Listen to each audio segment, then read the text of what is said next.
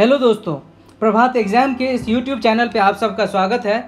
मैं आप सबका स्वागत करता हूँ एक बार फिर से एक नए नोटिफिकेशन के साथ और इस बार तो आप लोगों के लिए नौकरियों की बारिश ही हो गई। पिछले वीडियो में मैंने आपसे बात की थी रेलवे के नोटिफिकेशन के बारे में और आज हम लोग बात करेंगे उत्तर प्रदेश के लेखपाल भर्ती 2019 एग्ज़ाम के बारे में, जिसका नोटिफिकेशन बस अभी एक दिन पहले ही आया था और वो जो एग्ज़ाम कंडक्ट कराएगी वो संस्था है UP S S S C इसमें जो सबसे इंपॉर्टेंट बात है जो आप सबको गौर करने वाली है, वो है कि इस एग्ज़ाम में बैठने के लिए जो आपकी एलिजिबिलिटी है, उसके लिए ट्रिपल सी की आवश्यकता बिल्कुल भी नहीं है। तो बिल्कुल ही निश्चिंत रहे, आपके पास अगर ट्रिपल सी नहीं है, फिर भी आप इस एग्ज़ाम के लिए एलिजिबल हैं। तो चलिए, आज हम शुरुआत करेंगे इस नोटिफिकेशन के इंपॉर्टेंट पॉइंट के साथ कि आपको किस तरह से इसके पूरे डॉक्यूमेंट भरने होंगे और फिर कैसे खुद के लिए, खुद को परीक्षा के लिए तैयार करना होगा।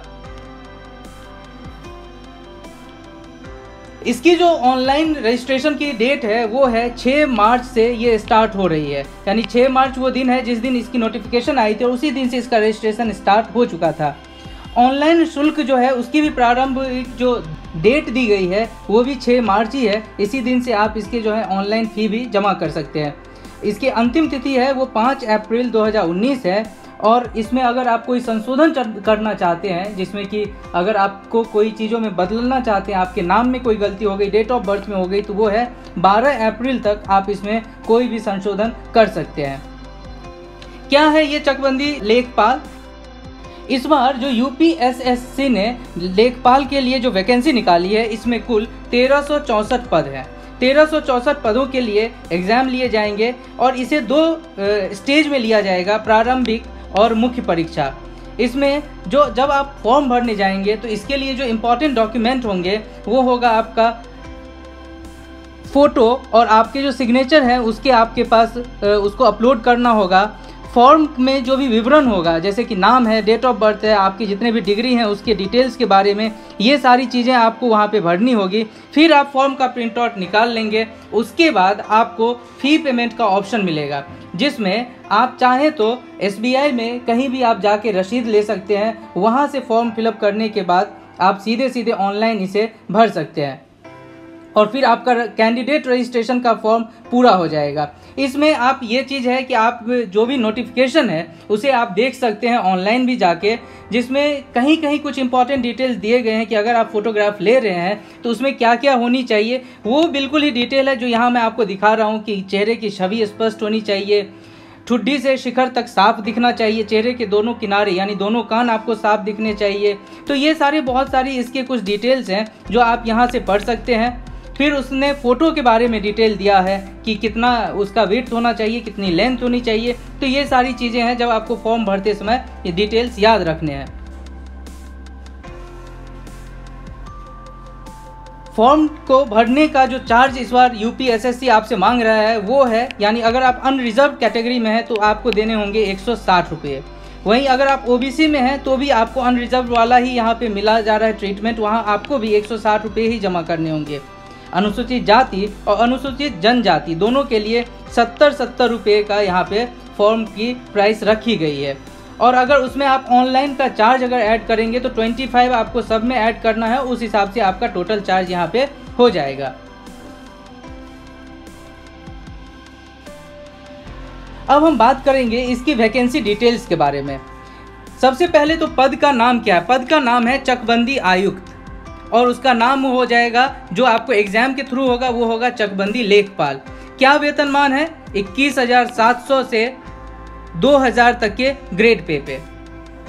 उसके लिए आपकी आयु कितनी होनी चाहिए? 18 से 40 वर्ष तक के बीच। इसमें जो टोटल सीट की, अगर आप इसकी देखेंगे कि किस तरह से उन्होंने सीट को बांटा है सभी कैटेगरी में तो जान के आपको आश्चर्य होगा कि एसटी के लिए जो शेड्यूल टाइप्स होते हैं, और ओबीसी अदर बैकवर्ड कास्ट हैं। इन सब के लिए कोई भी सीट यहाँ अलग से नहीं रखी गई। इसीलिए कहीं ना कहीं मन में एक डॉट तो चले ही जाता है कि अगर कॉन्स्टिट्यूशनल प्रोविज़न है, आपको रिजर्वेशन मिलना तो ये जो वैकेंसी निकली है, अगर यहाँ पे किसी इन दोनों के लिए सीट रिज़र्व नहीं है तो क्या ये फिर से वैकेंसी को निकाली जाएगी नोटिफिकेशन फिर से आएगी, वो हम बाद में देखेंगे। लेकिन सवाल तो इस पर ज़रूर उठेंगे।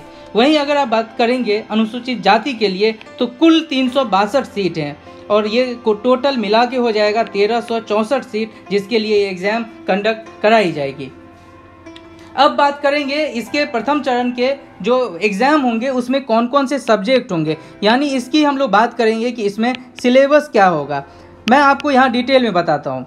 इसमें जो प्रथम चरण में होगा, वो रिटेन टेस्ट होगा, जिसमें आपको सामान्य हिंदी से सामान्य हिंदी से टोटल 40 क्वेश्चन पूछे जाएँगे, जिसके कुल मार्क्स हो जाएँगे 20 वहीं गणित से मैथ्स से आपको यहाँ भी 40 क्वेश्चन पूछे जाएँगे, कुल अंक 20 सामान्य ज्ञान जनरल नॉलेज से 40 क्वेश्चन पूछे जाएँगे, कुल अंक हो जाएँगे 20 और ग्रामीण क्षेत्रों से संबंधित बिंदु पे आपको 40 क्वेश्चन पूछे जाएँगे और ये कुल हो जाएँगे मार्क्स 20 यानी कुल 80 मार्क का ये पेपर होगा और इसके लिए जो आपको समय दिया जाएगा वो होगा दो घंटे।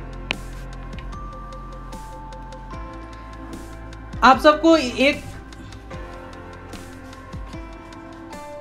आप सब के लिए एक और खुशखबरी यहाँ पे प्रभात प्रकाशन की ओर से आ रहा है कि इन्होंने यूपीएसएससी चकबंदी लेखपाल के लिए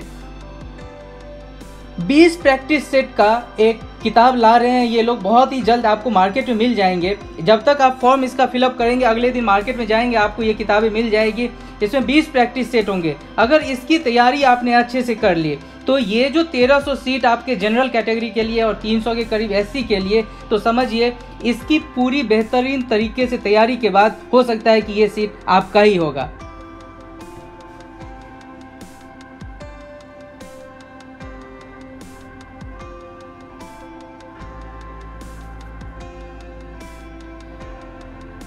अब इस एग्ज़ाम के हम लोग एलिजिबिलिटी के बारे में बात करेंगे तो वो है कि उत्तर प्रदेश की इंटरमीडिएट परीक्षा या सरकार द्वारा उसके समकक्ष मान्यता प्राप्त। यानी अगर आप यूपी से हैं तो वहाँ का आपने इंटरमीडिएट परीक्षा पास किए हैं तो आप इस एग्ज़ाम में बैठ सकते हैं। या पूरे भारतवर्ष में इसके समकक्ष लगभग कहीं पे आप ट्वेल्थ देखेंगे, कहीं पे जिस तरह की भी प्रणाली है एग्ज़ाम की प्रणाली, उस हिसाब से अगर आप इसके समकक्ष कोई भी परीक्षा आपने पास की है तो आप इस एग्ज़ाम में बैठ सकते हैं। आपको एक और बात यहाँ गौर करनी होगी। अगर आप यूपी के नागरिक नहीं हैं तो एस सी एस टी या ओ बी सी के लिए जो भी रिजर्वेशन का क्राइटेरिया है, वो आपको यहाँ से नहीं मिलेगा। आयु सीमा है मैक्सिमम 40 वर्ष। यानी अगर आप जिस दिन परीक्षा का दिन तय हुआ है, उससे पहले आपने 40 वर्ष की उम्र पार कर ली है तो आप इस एग्ज़ाम में बैठने के लायक नहीं होंगे। या आपकी उम्र 18 वर्ष से पहले की है तो भी आप नहीं बैठ पाएँगे। यानी जो यहाँ पे एज क्राइटेरिया है, वो 18 से 40 साल तक का है। वहीं आप सबके मन में एक और सवाल आ रही होगी कि अभी जो सरकार ने इकोनॉमिकली बैकवर्ड सेक्शन के लिए टेन परसेंट का रिजर्वेशन दिया, क्या वो यहाँ मान्य होगा? बिल्कुल होगा। इस नोटिफिकेशन में बिल्कुल ही बड़े अक्षरों में लिखा गया है इकोनॉमिकली वीकर सेक्शन के लिए क्या आरक्षण होगा? तो सरकार सेंट्रल गवर्नमेंट के गाइडलाइन के हिसाब से यहाँ पे टेन परसेंट आपको रिजर्वेशन मिलेगा। अगर आप इसके जो भी क्वालिफिकेशन है, उसको अगर आप क्वालिफाई करते हैं तो आपको ज़रूर यहाँ से मिलेगा दस का आरक्षण।